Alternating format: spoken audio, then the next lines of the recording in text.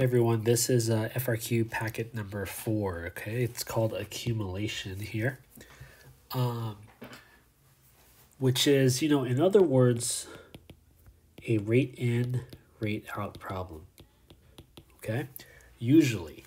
So usually they'll describe a rate at which something is going in and a rate at which something is going out. So the rate at which people are entering an amusement park and the rate at which people are leaving the amusement park.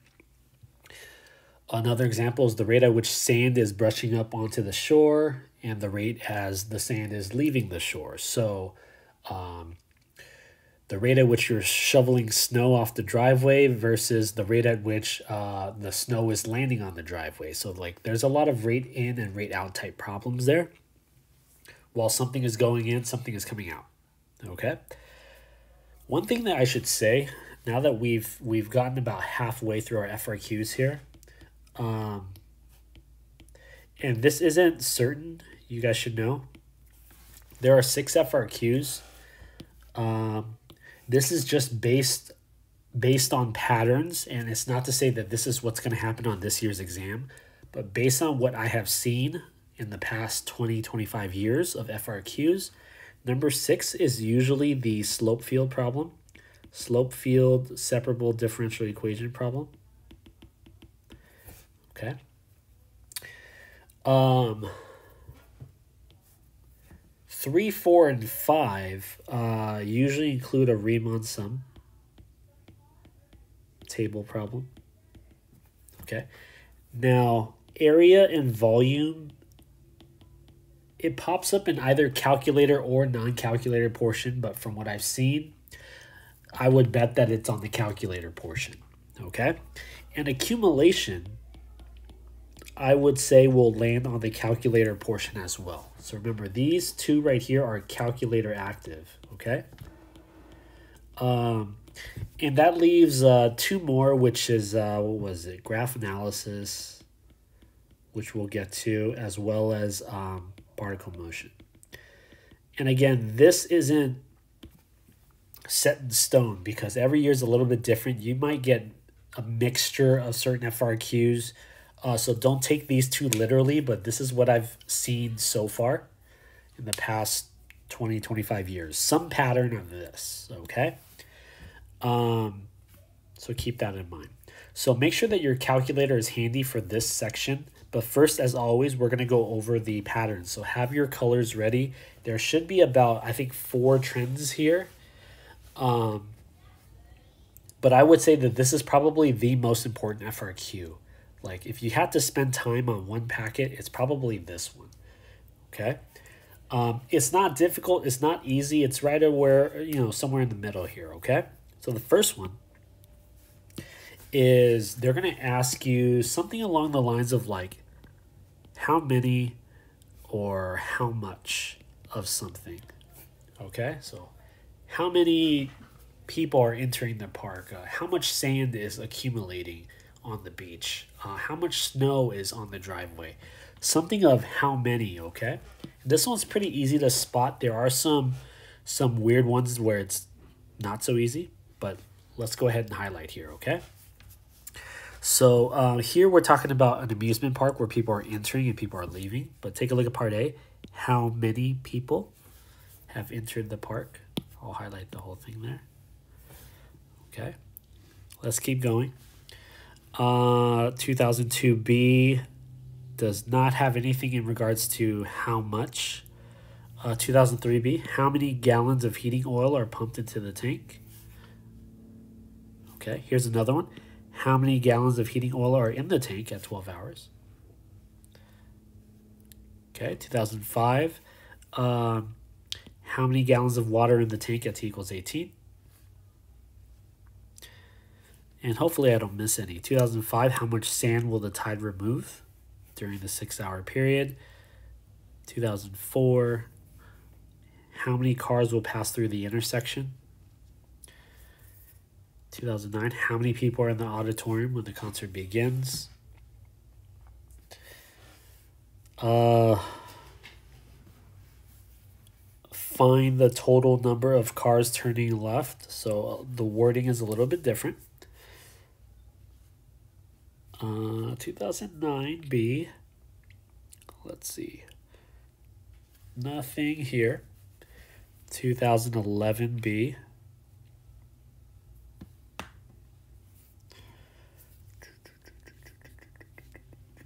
Uh, what is the height of the water in the can at the end of the 60 day period? So, how much height has accumulated, right? Um, so, that one was a little bit different. Let's keep going here.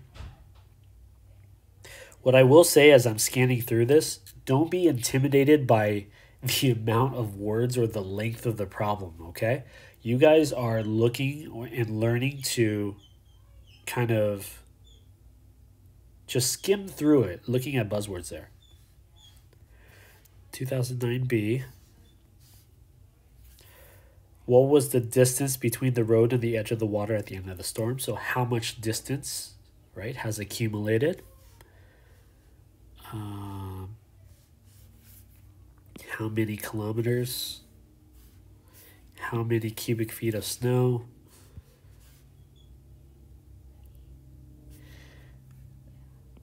How many mosquitoes will be on the island?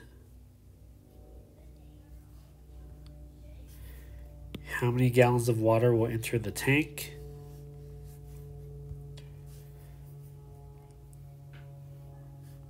Uh, find the total number of calories burned over that time interval. So, you know, how much calories have burned how many people arrive. I think you guys are getting the drift here, okay? So I'm, I'm going to move a little bit quickly. Uh, 2,000, there's how many gallons of water leak out. How many gallons of water are in the tank. And then there are your scoring guidelines, okay? That's your very first um, trend. Notice how it pops up, but not always. But I would say 95% of the time, okay? So that's why it's a trend, right? So here's the next one. Use your next color, whatever it is. Your next color here is going to be some indication of increase or decrease. We're looking for something along the lines of those words or something similar to those words, okay? So here we go. Um, nothing here in the first one, right here is the amount of pollutant increasing at time t equals 9. Okay. Uh, is the level of heating oil rising or falling, aka increasing or decreasing? Uh, 2005 is the amount of water in the tank increasing or decreasing. Uh, nothing here for 2005. 2004 is the traffic flow increasing or decreasing? Um, nothing there. 2006. I don't see anything there. Wait, hang on. Yeah, I don't think so. 2009B.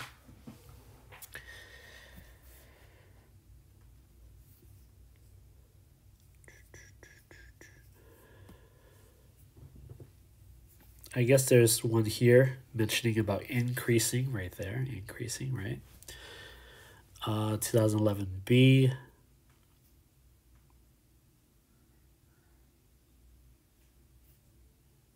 I don't think I see anything there. Nothing there. What is the rate of change? Nope. Nothing there. Now this one here does have decreasing, but it's a little bit different when it's decreasing most rapidly. I'll talk about that in a later video there, okay? Uh, 2008. Oh, let me go back to the first highlight. There's another how many here. I didn't catch that. Okay. Uh, 2010. Oh, there's another one. How did I miss these? How many cubic feet of snow are on the driveway? Okay. Show that the number of mosquitoes is increasing at t equals 6. Um, Part B, I would not highlight because it's they're talking about increasing at an increasing rate or decreasing rate. So that's a little bit different. And again, I'll address that in a later um, trend.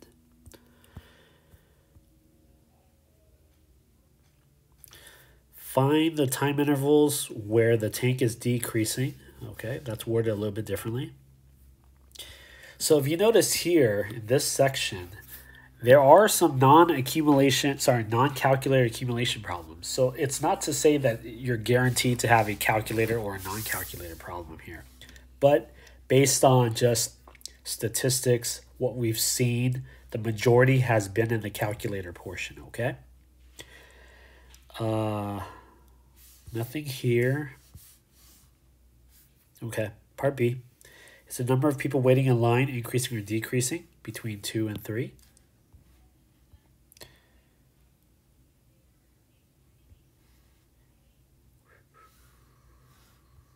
I don't think I see anything else.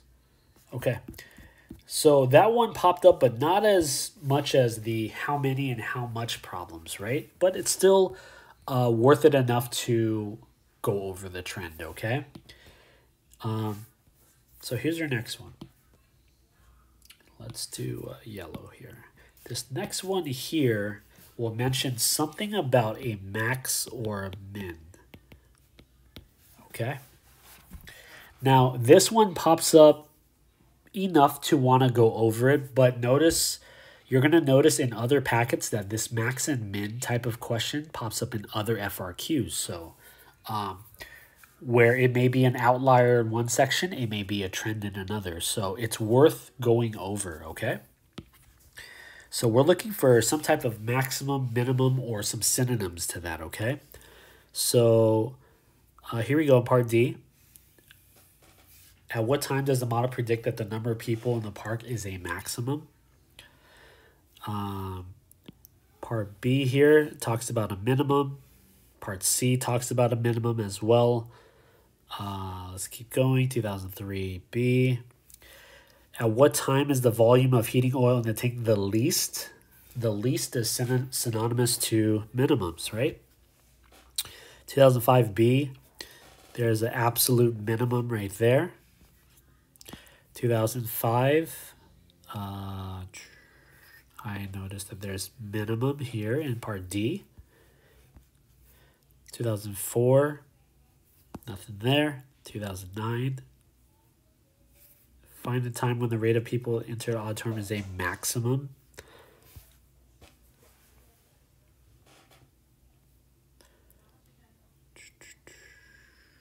Okay, nothing there. 2009 Form B. Nothing there. 2011.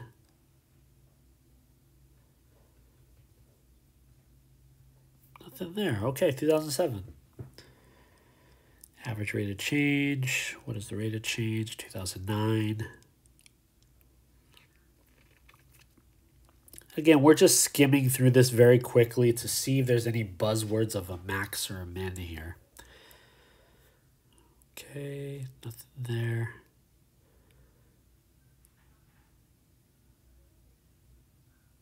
I don't see anything there. Okay. Part D here. What is the maximum number of mosquitoes? 2007. At what time is the amount of water the greatest, aka maximum? Uh,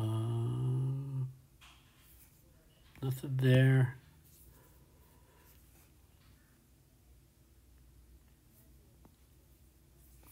At what time is the line for the ride the longest? So again, another word for maximum.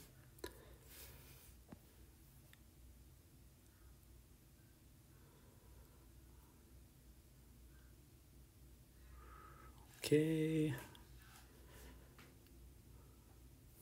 Okay, part D here in 2000 is the amount of water in the tank a maximum. At what time does that happen? And then that's it. Okay. All right. Here's the last one. It doesn't pop up too often, but enough to want to know it because it's very popular in the other sections here, okay? The last one, you're looking for some type of AROC or average value, okay? some type of AROC average rate of change or some type of average value. So we're looking for buzzwords like average, okay? So the first one will occur, let's see.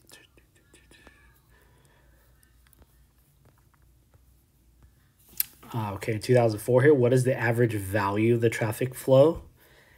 And part D here, what is the average rate of change, right? What the heck is the difference? We'll talk about that. Um, sneaky here, 2009, on average, how long does a person have to wait for the concert to begin? Um, 2006, let's see. Part B, compute the average value of L, whatever that is. We'll talk about it. Okay, nothing here. 2011. Part B, what is the average rate of change? Okay. So again, it doesn't pop up in every problem, but it's common enough for us to want to pick it up here. Average rate of change here. Okay, 2009. And this gives you guys practice to actually skim through it. So I encourage you guys to do this too, okay? Okay, I don't see anything regarding average. Okay, 2007. And you know, if I'm going too fast, make sure that you guys uh, rewind if you need to, okay? Or pause where you need to. Okay, this one's a little bit different. For this setting, find C so that an average of 15 calories per minute is burned. So average is dealt with right there. Okay, uh, 2011B, find the average rate at which the water is draining.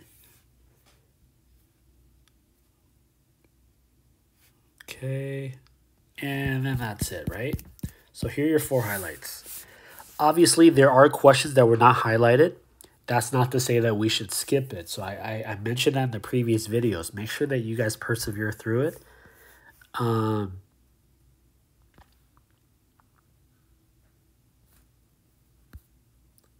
yeah, okay. So in the next few videos, I'll go over a couple of questions on how to take care of these uh, trends here, okay?